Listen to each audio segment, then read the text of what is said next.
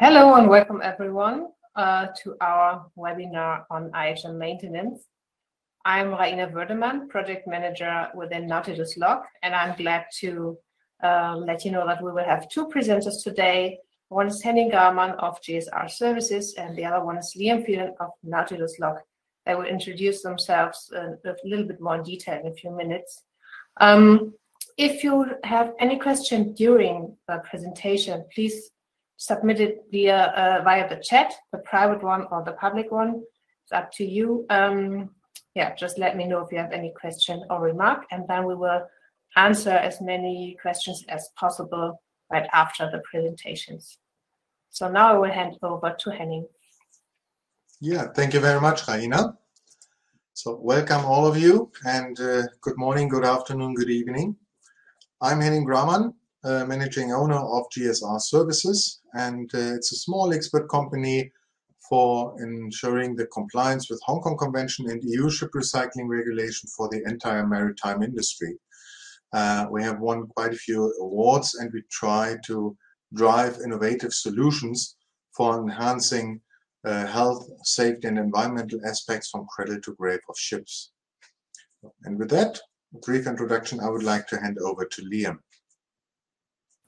Great. Thanks, Henning. Uh, also, thanks, Raina, for the introduction as well. Um, yeah, good morning, good afternoon, everybody, and welcome to the IHM Maintenance um, webinar today. Um, really good to be able to have you all on the webinar today and looking forward to be able to talk through um, IHM Maintenance. Um, from my side of things, I'm um, head of operations here at Nautilus Log. A little bit about Nautilus Log. We're a software service provider and we were established back in 2016, an award-winning innovative startup from Germany and based here in Hamburg. What we do is we focus on digitalization within the shipping industry, within the maritime industry. And what we look to be able to do, I'm sure you're all aware, there's a lot of paperwork, a lot of regulation that's involved in the day-to-day tasks within um, the shipping industry. We look to be able to replace that paperwork, bring cost savings and operational efficiency to the industry and to yourselves. Um, our first product, IHM, um, was a, is a great success. We have over 2,000 vessels that have already been contracted um, to IHM Part 1. Um, and as a natural step, step on the back of that, we obviously responded to the requirement for IHM maintenance and the market demand. so we're looking to be able to bring that to the market to, to you as well. I'm really, really looking forward to being able to um, show you a little bit about the digital solution, how we support that, and obviously answer any questions, as Raina said, um, towards the end of the presentation. But um, without any further ado, I'll hand back to, to Henning, and I look forward to speaking with you all a little bit later on in the presentation. Yeah, thank you very much, Liam. So today's webinar is about achieving efficient IHM maintenance, and we want to give you some indicators on how this can be done or how we try to be as efficient as possible. All this comes with a certain legal background, of course, and we have the Hong Kong Convention, which has not entered into force, even though it's coming from the IMO. And we have the EU ship recycling regulation, which applies to all EU flagged ships, but also to all EU visiting ships, regardless of their flag. So the key requirement is to have a certified and maintained IHM Part 1, which means the hazardous materials and structure and equipment of ships, on board. And this will be subject to port state control inspections. And approximately two-thirds of the global merchant fleet is affected by this EU regulation. When we look into the IHM development and related responsibilities for new builds, the responsibility lies with the shipyard. For existing ships, the responsibility is, of course, with the owners. When we talk about IHM maintenance, we are not talking about new builds because that does not apply. It only applies to ships in service, which means the owner is again responsible for the IHM maintenance. So what does IHM maintenance in fact mean. We have quite a lot of paragraphs in the EU and also IMO requirements or legal frameworks. Don't be afraid, I'm not going to read through all of that because we can cut it much shorter. That means we have to track hazardous materials on board. And this is a technical file, the inventory of hazardous materials, the maintained and also initially developed item is a technical file which belongs to the ship. It has to have a validity as long as the ship exists and as it is maintained on hand of material declarations from suppliers, the liability or the validity of these material declarations is as long as the product exists on board. So we talk about, in many cases, about a couple of decades uh, or decades where these documents need to be valid and also uh, at hand, more or less, in case questions come up. So the maintenance process itself starts with identifying the relevant purchase order items. That's one of the most crucial aspects because we have a lot of exclusions from the scope. If a relevant purchase order item has been identified, the documents from the suppliers are to be requested. That means the supplier must provide a supplier's declaration of conformity, so-called SDOC, and a material declaration, uh, MD, which is describing the contents of the product. And once these documents are provided, they need to be reviewed.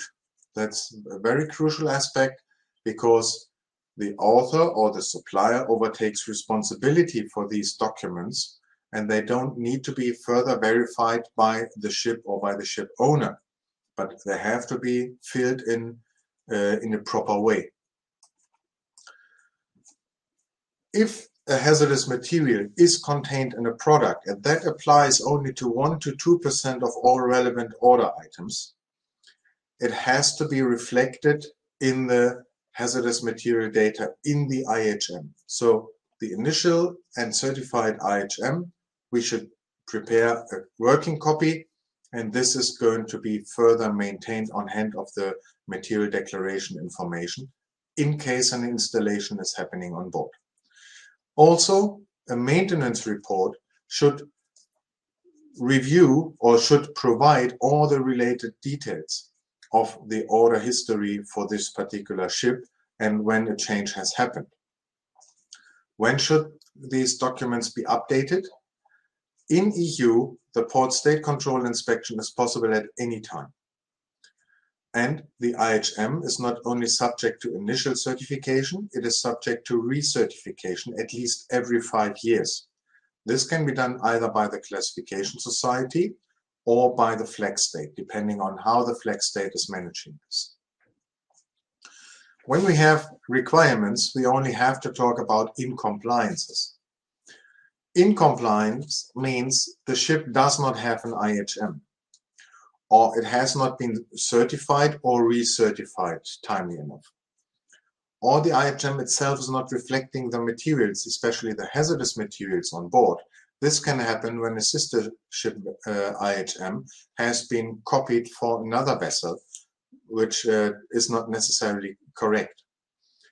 Or the IHM is not properly maintained, or there is no procedure for the maintenance.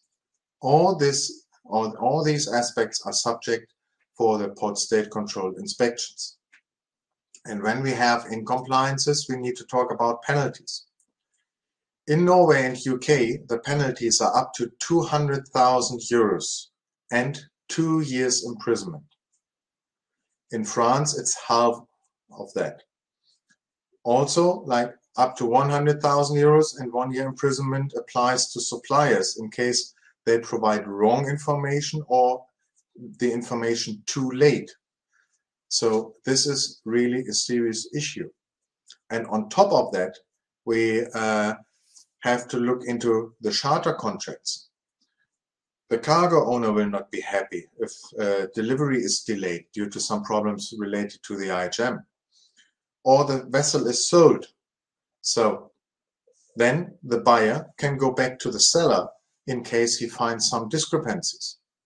And the same applies to the ship recycler as well. So that means the subsequent damages might be even much higher than the direct penalties from authorities. So the question is basically, what are your experiences with regards to the uh, penalties or problems uh, related to IHM and IHM maintenance.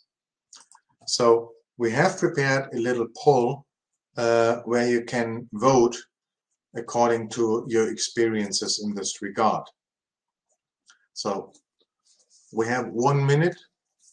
So, and uh, please make your selection according to your experiences. Uh, for us, it's always uh, interesting to learn about that as well.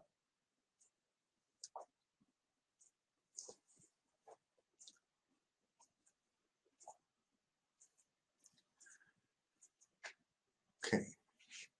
This poll is especially, of course, with regards to who's taking care of the maintenance, uh, which means we talk about responsibilities for the IHM maintenance and who has to justify any discrepancies.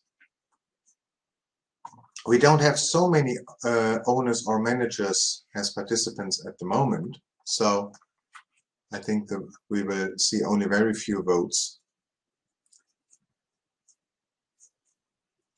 Okay, thank you very much. So one is taking care of IHM maintenance in-house, two are using external service suppliers, and one has not implemented the IHM maintenance for that.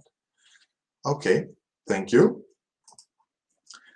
So the question which comes basically following this is who can do the IHM maintenance? And we call these guys IHM maintenance specialists. And I will give you the reasoning for that very soon. So what does this person need to know? Of course, the scope of IHM maintenance is one of the crucial aspects. What is included and what is excluded, and that directly relates to all the different legal aspects. Knowing about the exclusions or the relevancy of purchase order items is the key. There are a few exclusions. First of all, we talk about IHM Part 1, structure and equipment of a ship. And then on top of that, there are quite a few exclusions and the scope has to be understood very, very properly. Otherwise, too many uh, requests will be sent out to the suppliers, which is one of the key problems which we have today. In addition, compliance data exchange principles.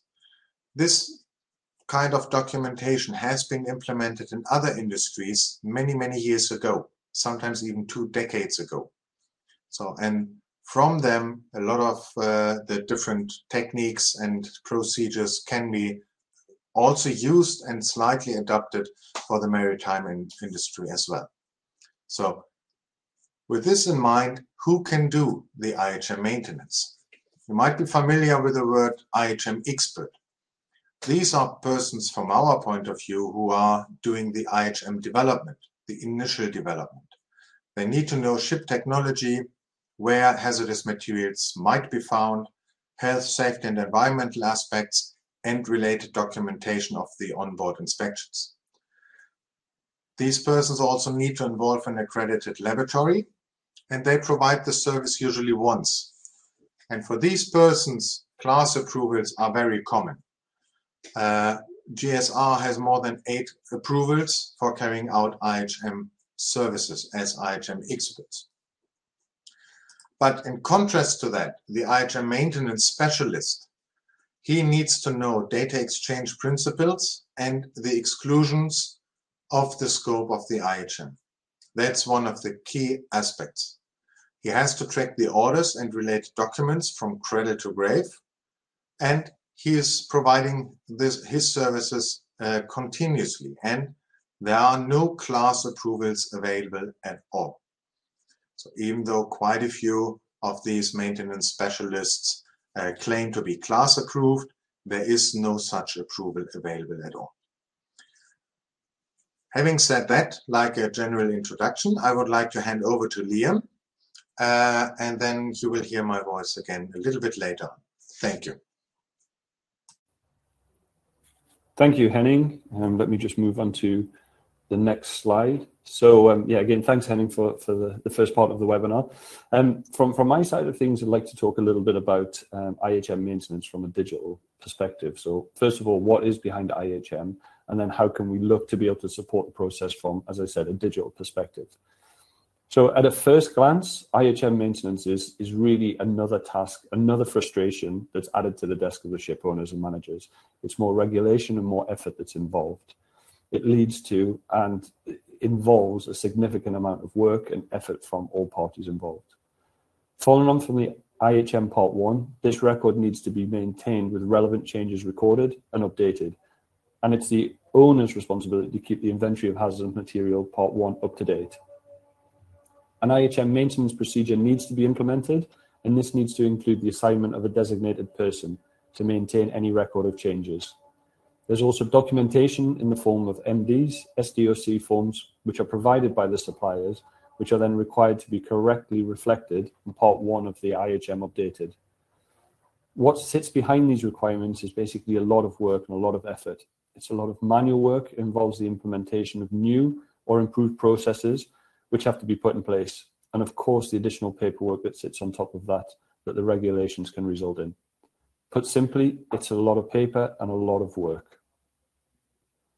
However, first of all, let's take a little bit of a step back and talk about IHM maintenance in a bit more detail. Way before you have a maintenance report, there are a number of actions and key considerations that the ship owner and obviously their partners need to think about to ensure that they are compliant and also to avoid the vessels being, de being detained. So from the ship owner's perspective, they have a lot of responsibilities. If you're a ship owner, you have the responsibility for ensuring the accuracy and the completeness of the IHM. You also have the responsibility to nominate a designated person to manage the IHM maintenance process, alongside ensuring that the correct internal procedures and the assigned responsibilities are completely adhered to. You need to ensure that the correct maintenance system is in place and finally, and this is a key point, they have to make the decision of who conducts the IHM maintenance. So is this internally, or if not, which service supplier should be selected? That's a key consideration. When looking at the IHM maintenance process, there are other key factors that need to be considered and fully understood. And these can include so the identification of which purchase orders need to be reviewed and whether they're relevant or non-relevant, forms and guidance that sit behind this and the documentation. And talking about the documentation, there's the reviewing of the incoming documents from suppliers.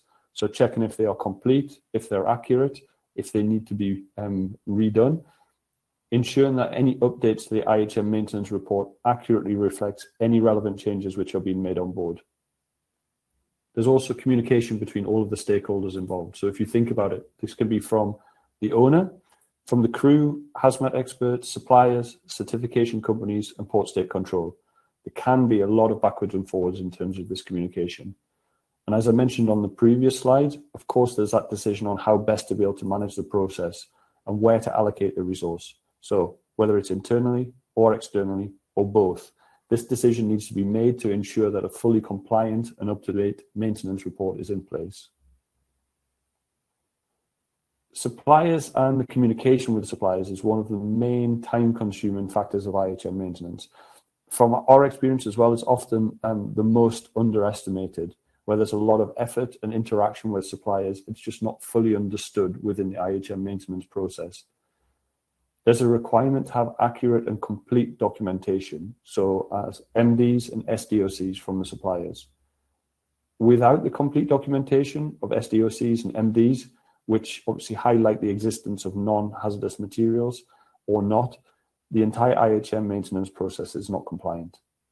This means there's a lot of work for ship owners who will be required to follow up with their suppliers until this information and documentation has been received and then fully reviewed. So again, more work more communication on the ship owner side. It's also worth noting that it's a significant amount of information from the supplier side of things, We've already seen that they're being inundated with such requests from ship owners. We look to support obviously the ship owners and the ship managers, but also the suppliers. So we look to be able to provide accurate requests of documentation, clear communication, and supplier specific landing pages for the suppliers to be able to upload and provide that documentation. So for us, from a, from a software solution point of view, digital support, communication, and standardization in this process and in this request of information really is key, both for the ship owners and their suppliers to ensure a manageable workload and obviously a complete IHM maintenance report. The IHM maintenance process requires knowledge on the scope of IHM, so data exchange and also clear supplier communication. Only a few maintenance specialists can provide guidance based on their knowledge and experience, ensuring effective communication when dealing with suppliers, owners, and crew. With Nautilus Log and our tool, we can work in collaboration with experts so that they can use the digital benefits of the tool to provide ship owners with guidance, help, support, with validation through the integrated knowledge of the tool. Of course, it's also possible for the owner can handle this on their own. Some of the pain points which can be experienced in IHM maintenance are, for example, the bouncing back and forth between stakeholders can occur and communication become difficult. The sheer amount of paperwork involved internally and from dealing with the supplier documentation. Understanding the, the relevance or non-relevance of the purchase order data. Um, simply the time and the effort required to effectively manage the process and the paperwork to really continually keep this maintenance up to date. Given the amount of information and the multiple communication channels, there's also a high potential for mistakes and errors, which when done manually can be really, really difficult to be able to uh, rectify. So now I'd like to be able to explain in a little bit more detail about the automation of the IHM maintenance process from our point of view. We look to support the full IHM maintenance documentation and process for all involved stakeholders. And how do we do it? We look to do it with a digital solution. So we're a digital tool that solves the IHM maintenance requirements and can combine the added expertise of the hazmat service suppliers. It's a complete IHM maintenance service that covers all of the pain points. So on the previous slides, I mentioned some of those pain points. So paperwork, accessibility of reports, reducing the cost of additional resource, and supplier management, all of which are time consuming and effort driven. Our tool, we provide the digital software solution, which when combined with the expertise and management from selected hazmat expert service suppliers, means that we can ensure a complete IHM maintenance solution. A maintenance report will simply be available with a click, one click of a button, generating the report, including all of the latest MDs and SDOCs in the document, and that's available 24 7, 365. This means that for all stakeholders, all participants, we find the gaps and we help with guidance to close them for gap-free documentation. So how does it work? Um, well, think about the ship owner just simply taking all of their purchase orders, placing them into the tool, pressing on start, and letting the process commence. We look to be able to make sure that our tool um, can fit to the client's needs, so both from a business, IT, and pro procurement point of view. What that means is that we can accept all data formats, so email, Excel. We can even communicate directly with purchase order systems via API. The tool then automatically monitors all the data, finds the gaps, enables the supplier management whilst also automating the report. The tool can be used as a standalone or for even more efficiency can be combined, as I mentioned before, with the connected expertise of a hazmat service supplier. You can then manage all of your IHM maintenance process both efficiently and effectively utilizing the tool. So IHM maintenance requires significant input to manage the process if done manually. If you take a step back and think about how much manual work would be involved for just one vessel per, per year, if you think about the amount of purchase order items that you potentially will have and the need for them to be checked and sorted into what is relevant and non-relevant. Once that process has been done, asking for the documentation, requesting documentation from suppliers. So communication and dealing with suppliers and the time that's required to follow up with them when information is missing, inaccurate, and then checking again to check that the documentation is indeed um, correct and valid. The final stage then is thinking about collecting all of that information and creating a document that covers all of the regulatory requirements. All of these together combined takes a significant amount of time per vessel. We, from our experience, anticipate that on average, this will easily amount to over 150 man hours per year in admin just for one vessel. So for an average fleet of 30 vessels, this can equate to more than two full-time employees. Again, with a digital approach, this time and effort can be significantly reduced. So as I've mentioned already, it's a really flexible tool and it can be adapted to the ship owner's business. So that means it can also be used in the office or it can be used on board or both. It also means that stakeholders can just start in the preferred way. Clients can receive fully automated documentation with no paperwork or even with no work at all on their side. This helps to avoid costs, additional resource, and uh, more allocation and effort involved. It also means ship owners can save up to 70% of their time using Nautilus Log as a tool, and actually even more, up to 90% when using together with a service supplier. Our tools easy to use and connecting couldn't even be simpler. We tailor fit our solution to the business needs, and we work closely with both the technical and procurement teams to ensure a really simple, easy, efficient transfer of PO data, purchase order data into our tool. So I mentioned we accept all formats, email, Excel, and we can even communicate directly with purchase order systems. Once that data is feeding into our tool, we'll take care of the IHM maintenance process. Even in the case where you've used a different IHM service supplier, this can still be managed. We can simply integrate the existing IHMs in a simple, quick, easy manner into our tool. And if we detect irrelevant IHM entries, we can make corrections. But there is some more. The tool ensures complete and compliant 24-7, 365 days a year documentation. It ensures that you always have the documentation, including the full history for the correct stakeholders at hand, whether that's in the office or on board. In addition, together with the service suppliers, we also help you with the supplier management, guide guidance with expertise through the whole process, ensuring that all gaps and findings are handled. So as we did a little bit earlier on, um, we'd like to be able to do um, a, a, little poll with you all.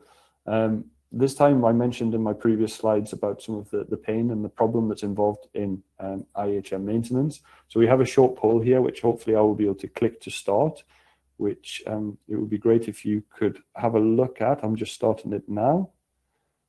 And we can see where you've maybe experienced some IHM related problems already. So whether that's during the initial certification, during port state control inspection, um, also sale and purchase of the vessels.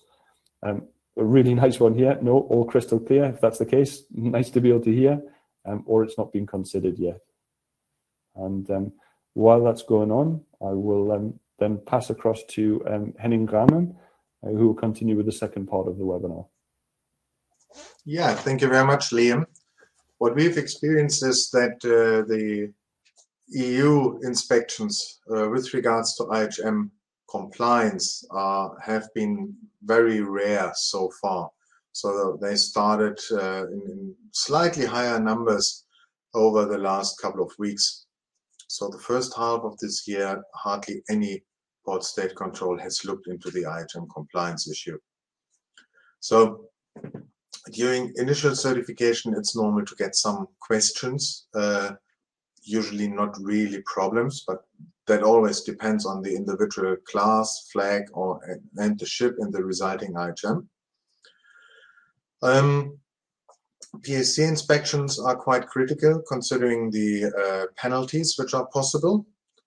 Uh, in the first couple of months, there was still the opportunity for port state control officers to say, okay, now you get two months to provide me with a proper IHM.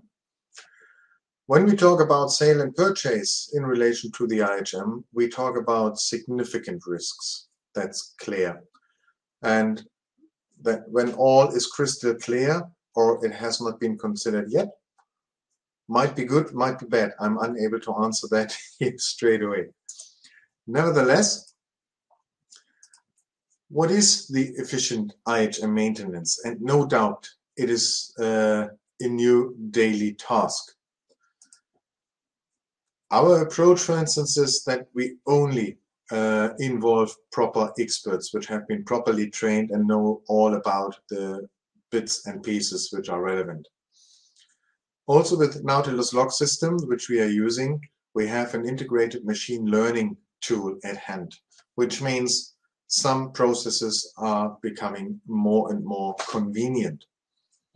What is of utmost importance is that we act cooperatively to all involved, including suppliers, that it's a transparent system. So when a question occurs, that anyone who has access to the system, including our clients on board and onshore, can have full access to all the data collected and evaluated for them.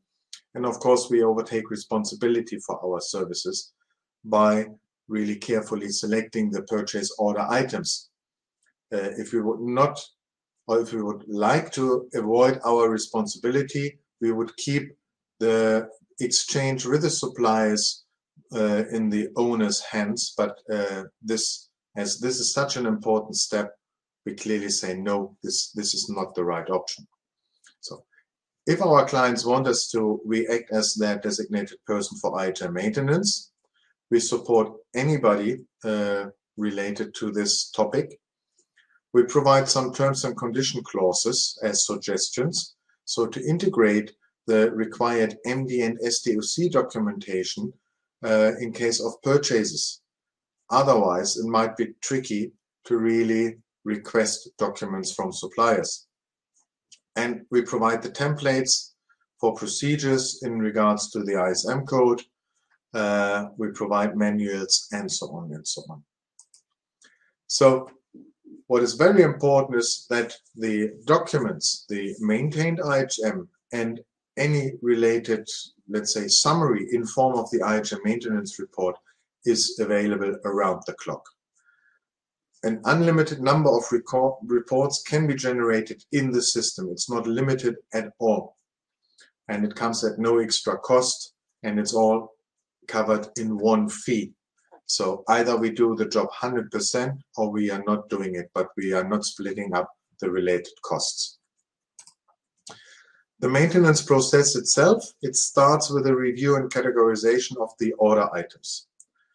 In case they are not relevant, this decision is saved in the archive, but it appears in the IHM maintenance report, of course.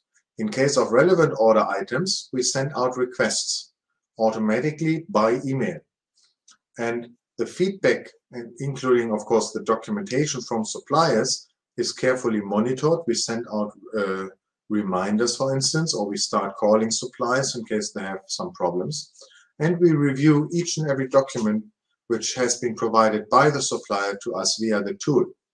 And then if we detect any shortcomings, we provide clear guidance and support to the suppliers to amend the documents for making sure that we only process valid documentation further. So once the documents are found to be fully valid, we, of course, collect them and we separate them again into zero MDs, saying that no hazardous material is contained in the product. That only needs to be uh, saved in the archive. And we have to track the positive MDs where the supplier says, yes, this product contains one of the hazardous materials or two or three, which is hardly the case. Roughly that applies to 1 to 2% of all uh, relevant order items because this little fraction of all order items requires a follow-up on board, which means once it is installed, the ship has to tell via the system where and how much they have installed it. And based on that, the IHM itself is updated and of course, again, the IHM maintenance report. And this is available 24-7. The key aspect, I know I repeat myself, but it's really the careful selection of order items. When the requests are sent out, uh, they receive a link to their own landing page. Each and every supplier gets his own landing page with the forms, with guidance documents, and where they can easily manage the documentation which has been requested from them. We provide individual support via this landing page, and there's an integrated chat function, and of course, again, the document review. This is not the only approach which you can find uh, as, as a service offer. There are some other approaches um, available as well. First of all, what we very often see also when we work for suppliers that for all purchase order items, requests are sent out by service suppliers. This is absolutely unnecessary and increasing the workload unnecessarily for the suppliers. Others are estimating whether or not a hazardous material is present in a product. And if they say, mm, yes, could be, then they send out a request to the supplier. This is a completely wrong approach when we talk about uh, material compliance data exchange. These assumptions have nothing to do with IHM maintenance. And there are others who say, okay, we collect a few documents as far as possible, but the rest is covered by inspection and sampling. This is completely illegal according to the legal requirements. So, and then there's another one where they speak about their web portal, which identifies hazardous materials through artificial intelligence. That might be an individual source of information or some experience, but there is no global database where the uh, identified hazardous materials are collected. So based on this approach, this is definitely not a compliant approach for IHM maintenance. Then what we can see is that quite a few service suppliers are claiming to be class approved. We have approached eight IACS classes. Seven of them said, we are not offering any approval for IHM maintenance services. We don't offer that. It's non-existent. And one admitted, yes, one is in the pipeline, but it will take some more time until we really issue this approval letter. So anybody claiming to be class approved for IHM maintenance is making a wrong claim. So we had a rare chance to compare uh, the performance levels. So two different service suppliers, one of them were of course GSR services, one owner, same ship type and the same period. We talk about a period of one and a half years. For one ship in this case, which was not the worst performing ship in, in, in this uh, issue, 4,800 order items were ordered for that ship uh, over a duration of one and a half years. The other service supplier requested for nearly 2,900 purchase order items the documentation from suppliers, especially the material declarations. That equals to roughly 60% of all order items. We have identified 228 order items to be relevant. That's a ratio of only 4.7%. Seeing the outcome of these activities, there were more than 2,600 unnecessary MD requests sent out by one provider, and he collected only 36 material declarations, out of which only four were relevant. We have collected 226 and we still wait for two other ones. And based on this, order, on the order item level, you see one has shot out a huge number of requests but performed very poorly, the compliance level, considering the relevant material declarations collected, is below 2%. And all documents which have been requested but not been provided by suppliers are well documented. When the port state control comes on board and checks your IHM compliance, this is black and white. It can't be made easy or easier for the port state control to identify that the maintenance does not work. Luckily, we are close to 100%, which is very good in this case, but uh, it's not uncommon. But we talk about a compliance aspect and just, just recall the uh, penalties. So how can we achieve it? Yes, it's based on experience. We have eight specialists in-house we started looking into the principles and how the item is to be maintained back in 2007 already. And of course, we don't have any class approvals. So when we go down to the different order items, we have gone through the major catalogs uh, which are used in the maritime industry.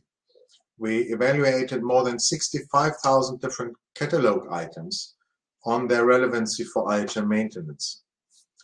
We have evaluated more than 1.7 million line items uh, during the service period, and we created more than 2,000 categorization groups. This is only for identifying the relevant purchase order items. The majority of the workload comes with the exchange uh, with the suppliers and doing the reviews. some KPIs. Out of 100% of the orders, we identified 4.7 to be relevant. And as I said, only 1 to 2% come with a so-called positive MD from the supplier saying, yes, something is contained. Combining these numbers means that less than 0.1% of all order items require a follow-up by the onboard crew. If we collect more and more, we generate a higher workload, which is not necessary because uh, then we would manage MDs for non-relevant items. With that, we avoid unnecessary MD requests and relieve the suppliers from an excessive workload. We also prevent conflicts between purchasers and suppliers. And as anything needs to be documented, we avoid gaps and incompliances of the maintained IHM. And with that, we minimize the risk, damages, and also costs, also in case a ship is sold for further trading or for recycling. So with these basic principles, we can achieve a much higher compliance level compared to what others are doing. And they look more into the quantity, but not into the quality aspect. Having said that, I would like to wrap up the webinar. So the conclusion in general is two-thirds of all merchant ships need to have a maintained IHM and certified IHM on board.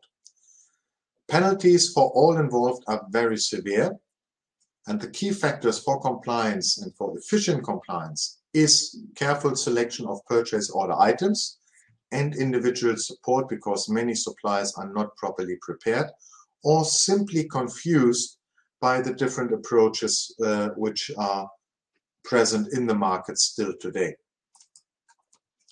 It's a new and complex task for the maritime industry.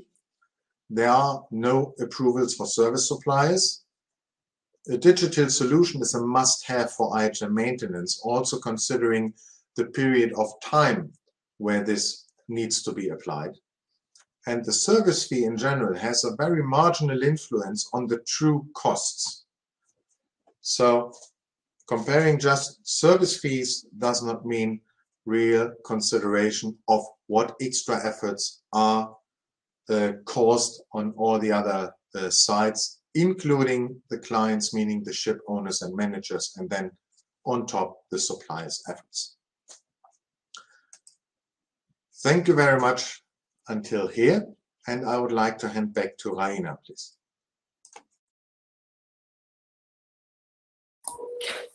Yeah, thank you very much, Henning and Liam, for your presentations. And uh, thanks all of you for submitting your questions. I also received a couple of questions in the private chat, so we can start with the Q&A session. First question um, to Henning. What if a supplier does not provide any MD or SDOC? Yeah, uh, fortunately, it does not happen too often, which is good. But in case it does, First of all, we need to document it properly. We should not pretend to have any information at hand, which means uh, in the IHM maintenance report, this order item is listed. And then uh, we urge the ship owner to treat it as what we call for uh, initial item PCHM, potentially containing hazardous materials, because we can't prove otherwise. But we keep poking the uh, supplier. And if nothing happens, we can still work on what we call an inspection-based material declaration. It's not 100% legal, but definitely it is better than not having anything at hand.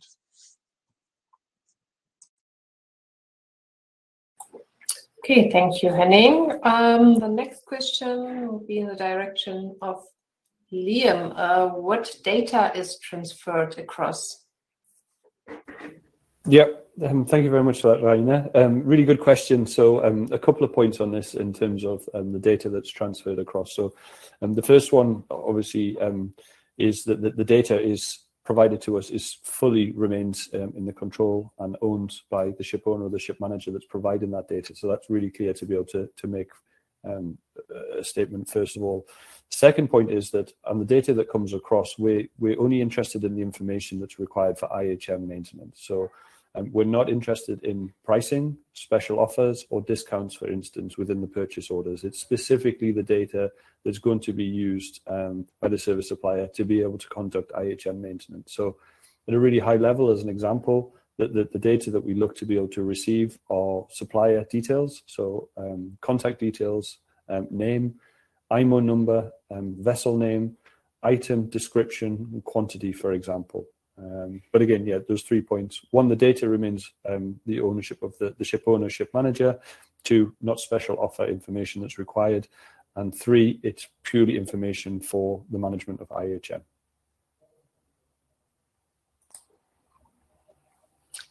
Okay, thank you, Liam. Um, then we have a question here.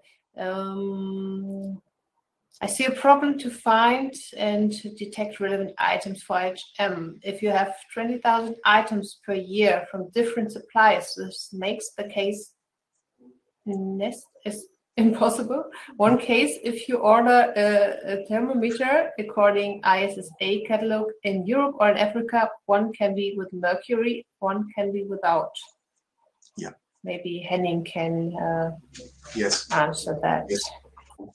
I can fully understand this approach, but again, this touches the point where the uh, content, the potential presence of a hazardous material is put into the focus of the further action, which is not correct. First of all, we need to look at what is in the scope of the IHM. First of all, we have structure and equipment of the ship.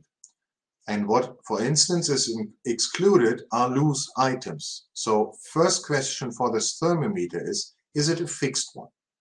If yes, okay. Then we can say, is it a household-like appliance? Is it a thermometer which we can find in each and every heating system in a house? If we can't, then we have to request the MD and SDOC from the supplier. So that's the logic behind. We are not looking into it and whether or not it contains mercury. So then we ask for a statement. And if the supplier says, yes, it contains mercury, okay, then we put this mercury containing item into the documentation. And once the ship via the Nautilus log system, the engineer, for instance, or whoever is assigned to this job on board, gets a notification that with this order, you receive a thermometer, you have to label it. Once you install it, you have to tell via the system where you have installed it and if you have installed one, two, or five items, or five of these thermometers. That's the process. We are not, definitely not looking into what might be contained. And it's just about what item is to be considered in this regard. So, and with this in mind, the identification of relevant order items is much easier. And as I said, we really need to understand each and every exclusion.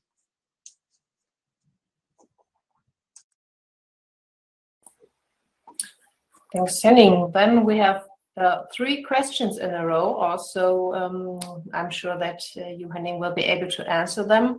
Uh, the first one do we collect SDOC and MD for all equipment in IHM scope or only those with hazmat positive entries?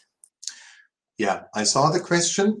As like before, we don't know when it is when such an item is ordered whether or not it contains a hazardous material. This can only be uh, this information can only be provided by the supplier, and this supplier very often has to ask his own supplier or the manufacturer what is contained. And they should follow the same principles like what we have to implement here in IHM maintenance, which means the supplier can't react instantly. He needs maybe one, two weeks, or sometimes even months to obtain the right information. So the scope of IHM maintenance is the core aspect, and it requires a lot of detailed understanding and knowledge to really apply it efficiently we are not considering what might be contained or not. That's first of all the, the key answer. So then the second one will follow. Does MD's collection start from the date of uh, the initial survey? Yeah, uh, that's basically, or it should be the latest date. In theory, once the IHM expert has conducted his shipboard inspection, has taken samples, and he leaves the ship. After that, in theory, the IHM maintenance should be started. My experience so far is that anyone, it's the class uh, and port state control, is happy to see when the IHM maintenance has been started with since the beginning of this year. But of course, if we have a gap, for instance, we, we have seen ships they have uh, got their initial IHM done in the five, six, seven years ago. Of course, this gap is not acceptable. And if these cases occur, the only chance we have, because retroactive IHM maintenance is next to impossible, we can only suggest, okay, let's get an entirely new IHM done because the previous one has not been maintained at all. Okay, then finally, the third one here, does uh, uh IMO provide a common guidance for correct SDOC and MD? Yeah, I have to admit that the IHM guidelines of IMO, the MEPC resolution 26968, is not uh, very detailed in this regard. It just explains roughly what needs to be filled in where, and there's a lot of confusion around that still. I was working on the IHM guidelines and developed them on behalf of the German government back in 2005 and 2006 until they were finished. So there's also an ISO 30005 providing more guidance. But if you understand the process, if you understand the scope and the approach of IHM and IHM maintenance, it becomes very clear what needs to be filled in where. And we are providing this guidance as a manual to all suppliers we get in touch with on behalf of ship owners, for instance.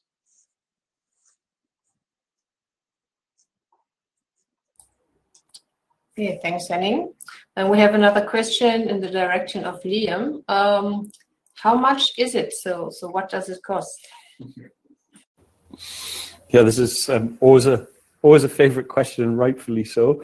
Um, yeah, in terms of the the actual cost, this is um, very dependent on a few factors. One of which, obviously, is the amount of vessels that are involved.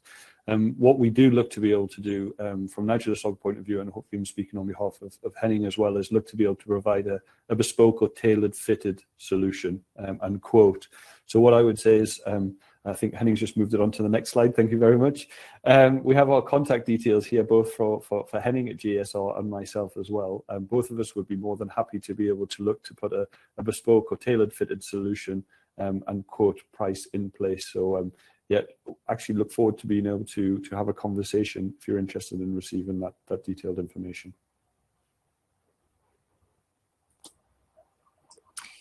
Great, thanks, Liam. Uh, then uh, so we only have a few minutes left. One final question, I would say, also for Henning. You said that sampling was illegal for maintaining the IHM. We've experienced that the class surveyor requested to have sampling done to verify statements issued by suppliers. What's your idea about this request? Um, it's a tricky one. It's really a good question because this is uh, highly depends on the approach, on how severe the issue is taken it is in general a very severe issue. But there is nowhere written that the ship owner, for instance, has to verify whether or not the material declaration is correct. But for instance, in the EU ship recycling regulation, they talk about random sampling. Uh, it is by far not common practice and it's not a common approach. So if the class surveyor requires a sampling, he should exactly say which material of the product should be sampled and analyzed for which hazardous substance. And then I'm very sure that he stops talking about sampling very, very quickly. So it's a nice in theory. And also I need to admit, I'm not taking the content of material declarations for granted. Uh, and what we also do, we are not only categorizing the order items into relevant, non-relevant. GSR has done more than 600 IHMs, and we have a lot of experience what might be contained in certain products. What we do on top of this categorization of relevant, non-relevant is we say, okay, this is a critical material, a critical product where we have found very often hazardous substances in there, including asbestos, which is banned. And for safeguarding our clients, we have created the third category, which is called additional. And for these high-risk items, which would normally be excluded from the scope of IHM maintenance, we still require the material declaration and supplies declaration of conformity. Nevertheless, in other industries, they do the random sampling or a targeted sampling depending on the risk categorization, which needs to be developed here, or which has been developed but not implemented. Uh, but I would think that this applies far more to shipyards, new building yards, repair and conversion yards, but not to the owner himself. I think this is absolutely overdone. So, yeah. Okay, thank you very much. And thank you everyone for taking your time and attending this webinar. Um, yes, in case of any further questions or uh, individual requests, please feel free to contact us at any time. Thanks again and have a nice rest of the day. Yeah, thank you also from my side. It was great seeing that you have all participated and very good questions. As Raina said, you're more than welcome to get in touch with us anytime, and I hope you found the webinar interesting. Thank you very much for joining us. Yeah, and indeed from my side at Nautiluslog, um, again, just to reflect what Henning said, some really interesting questions. Um, hopefully you found the webinar um, useful and look forward to um, speaking with all of you hopefully soon. But in the meantime, wish you a, a good evening. Thanks all.